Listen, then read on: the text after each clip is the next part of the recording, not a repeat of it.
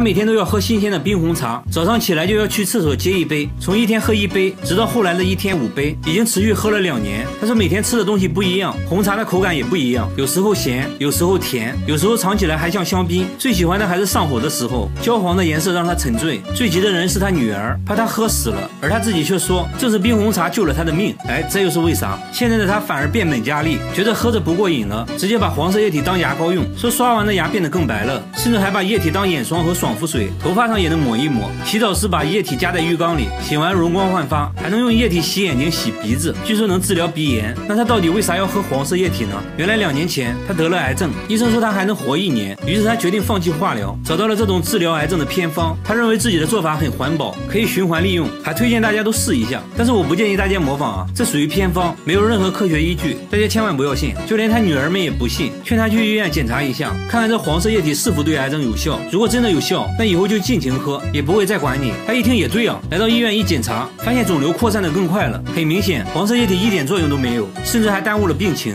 医生建议立即手术切除肿瘤。最后在医生的帮助下，控制住了病情。有钱的可以喝冰红茶，那没钱的吃什么呢？来看看下面这一位，他每天都来这家店白吃白喝，每次都吃同样的食物，吃完就走，从来不付钱。然而店主却根本不在意，想吃多少吃多少，还会给他打包一些带走。第二天他再次出现，工作人员尝试和他交流，他突然表现得很慌脏，东西都不吃了。拿起麻袋就走，工作人员决定跟着他一探究竟。他丢下一句奇怪的话，背着麻袋走进了大山。工作人员赶紧跟了上去，问他麻袋里装的什么，他还是一言不发，很快消失在了树林中。那我们还是来问问店主是什么情况吧。店主说，五年前他开始来店里吃饭，只点了三块钱的炒年糕，看得出来他很穷。店主告诉他，如果饿了可以随时来吃。没想到第二天他真的来了。店主说自己也曾经经历过低谷，身上一分钱没有，觉得要帮助这些无家可归的人。从那之后就一直给他提供免费食物，已经持续了六年，每年提供的食物也是个不小的开支。附近店铺老板都不能理解他的做法。一年后，节目组想要做个回访，发现店主搬家了，但还是会给流浪人员提供免费食物。家人都很支持他的做法。我觉得天使大概也就是这样的吧。在社会福利社的帮助下，之前的流浪汉也住进了精神病院，一切都在慢慢变好。好了，我是月贝，关注我，每天一个迷惑行为大赏。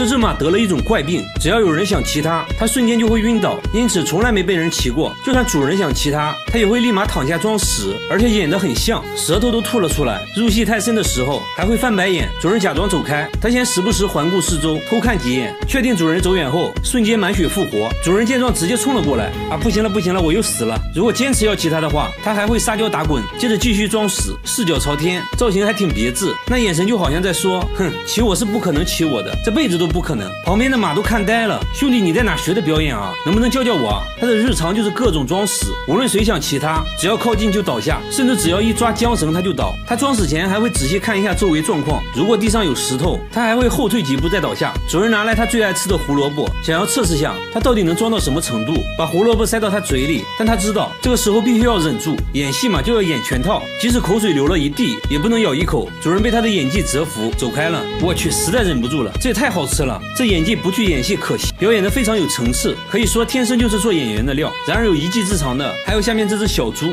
这只小猪会画画，只见它叼着画笔，对着画板一顿笔画，边画还边扭，简单几笔，一幅抽象画就完成了。主人在画上加个眼睛，立马就变成了一只狗；另一幅画再加两个眼睛，又变成了猫头鹰。色彩运用非常大胆，不是大红就是大紫，画风放荡不羁，所有作品都极为抽象。下面这幅就更抽象了，看了半天也看不出来是啥，毕竟是艺术嘛，看不懂的就是。好的，专家都不敢相信，猪竟然会画画。佩奇当着专家的面又创作了一幅画，加个眼睛，瞬间变成了鲸鱼。不能说是很像，只能说是一模一样。专家说，不管是用色还是构图，都属于上乘之作，忍不住大赞佩奇有天赋。但艺术创作是非常累的，每当他完成一幅作品，主人都会奖励他几块红烧肉。作为一只艺术猪，待遇就是高，主人会天天给他洗澡，还要给他按摩，看着还真有点艺术家的气息。主人说，自从发现他有绘画天赋后，就给他准备了专门的画板和画笔，只要把画笔摆在。在他面前，他立即就能开始创作，至今已经画了五年时间，绘画作品也达到了上百幅，吸引粉丝无数。主人还给佩奇办了画展，很多人慕名而来，都想要收藏一幅画当艺术品。据说一幅画就能卖到好几万。然而下面这只狗狗也有一项非常实用的技能，这只狗狗是个家教，会辅导主人写作业。每次主人放学回家，它就会一动不动地站在桌子上监督，神情严肃的像个监考老师。狗狗尤其对数学比较在行，主人写错的话，它还会叫。姐姐说有它陪伴，自己写作业也不无聊，也不会想着玩手机，因为只要玩手机，他就会叫。在他的监督下，自己进步很快。小白不仅会监督作业，还会监督姐姐弹钢琴，同样一动不动，听得如痴如醉。做完功课呢，小白还会陪主人玩耍，劳逸结合。小白虽然只有三岁，但为这个家操碎了心。主人说，对于小白会监督写作业，完全是意外发现。有一次自己着急出门，就告诉小白要看着姐姐写作业，没想到他真的听懂了。从此只要女儿写作业，他就会守在旁边监督。主人养了三只狗，只有小白会监督女儿写作业，让他坐下，他也不会做，有时看着看着就困了。即使这样，他还是一动不动。主人还说小白非常聪明，还没满月就学会了和人握手、去马桶上厕所、随手关门等很多技能。最让主人骄傲的还是他的拒食能力，东西吃到一半，主人让停就会停下来。你想要拥有这么一只狗狗吗？好了，我是月贝，关注我，每天一个迷惑行为大赏。这只狗狗看破红尘，竟然出家当了和尚，每天跟方丈一起诵经念佛，居然还学会了打坐，露出虔诚的眼神，身体半蹲，双手合十，不停的祷告，一坐呢就是一上午，直到念经结束，他才会把手放下来。众人都很好奇，好好的狗狗为啥会选择出家当和尚？他能听懂佛经吗？一旁的方丈却笑而不语。不仅如此，他现在连狗粮都戒了，只吃素，大白菜是他的最爱，还上过报纸，被各大媒体争相报道，甚至有人为他写了一本书，收获粉丝无数，经常收到来自全世界各地的。来信，信件堆满了整个箱子，还有粉丝亲自来寺庙看他。狗狗非常有礼貌，见人就作揖，连粉丝也不禁想问他到底为啥要当和尚。原来啊，狗狗之前是个花花公子，到处沾花惹草，偶然间来到寺庙，正好看到方丈在念经，一下子就被吸引了，听得如痴如醉，自此看破红尘，遁入空门。刚开始，方丈以为他只是在模仿自己，但随后几天，只要方丈诵经，他就会出现在一旁静静的听，有时还看到他独自在佛前打坐，一坐就是半天。方丈看到了他的慧根，于是收留了他。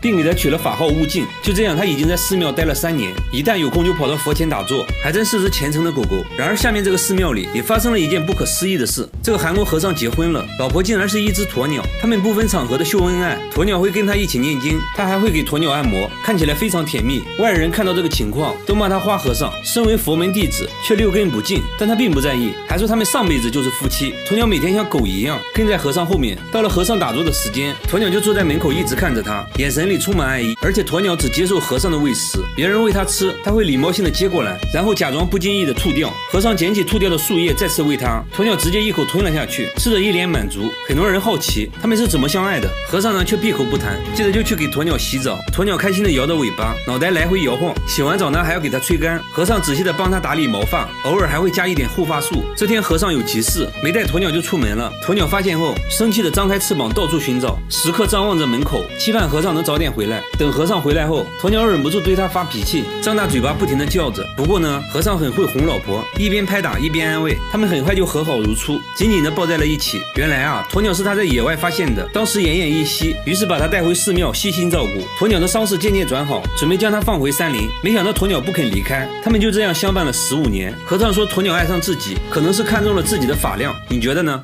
白鹤杀死了自己的丈夫，却疯狂爱上饲养员，并成功生下了八个孩子。连饲养员都没想过自己会和一只鹤成为夫妻。这只白鹤是被人类抚养长大的，它以为自己是人类，对同类根本没兴趣。如果公鹤靠近它，它还会发出声音驱赶。白枕鹤属于濒危保护动物，为了让它繁衍后代，动物园给它找了个丈夫，强行关在了一起。果然，包办婚姻不可取，丈夫被它活活咬死。动物园不甘心，又给它找了第二个丈夫，结果呢，还是没能逃过一劫。从此，白鹤成了动物园有名的黑寡妇。动物园实在没办法了。给他找到了现在的饲养员。刚开始，白鹤不让饲养员靠近，表现得非常有敌意。饲养员只能在几米开外给他投食。经过每天朝夕相处，慢慢的，他开始接受了饲养员。饲养员可以来到他身边，一边抚摸一边喂食。但饲养员却注意到，白鹤似乎对他格外感兴趣。当他俩独处的时候，白鹤会展开翅膀对他跳舞。刚开始，饲养员以为是白鹤看到自己高兴，但他很快在其他白鹤夫妻中看到了同样的跳舞行为。饲养员终于明白，这是白鹤对自己的求偶表演。白鹤把他当成了伴侣，但人怎么能跟鹤在一一起呢？饲养员也没有多想，为了不让白鹤失望，当他再次进行求爱表演时，饲养员会跟着一起跳。白鹤扇动翅膀，他就挥动双臂回应，有时还会跟白鹤一起尖叫。为了表现的称职一些，饲养员会帮他筑巢，因为这是白鹤夫妻会一起做的事。白鹤对饲养员爱的深沉，就连女记者和饲养员说话，他都会吃醋，在一旁不停的示威。为了让他繁衍后代，等白鹤再次对他进行求爱表演时，饲养员偷偷找来雄性白鹤，对他进行了人工受精，最终成功生下了宝宝。对于孵蛋的任务，白枕鹤必须。须夫妻一起孵，这对饲养员来说有点难度，但饲养员也不敢让白鹤单独负担，因为白鹤一直认为自己是人类。如果孩子出生发现并不是人类，怕白鹤会崩溃。于是，在白鹤生下蛋后，饲养员偷偷把蛋送到了其他白鹤夫妻窝里，让他们代为抚养。为了不让白鹤伤心，他还制作了不少逼真的假蛋，让白鹤坐在上面孵。他们于二零零四年相识，当时白鹤二十三岁，饲养员二十八岁，至今已经相伴了十八年。白鹤一共生下了八个孩子。白鹤是一夫一妻制的动物，寿命能达到六十岁。饲养员表示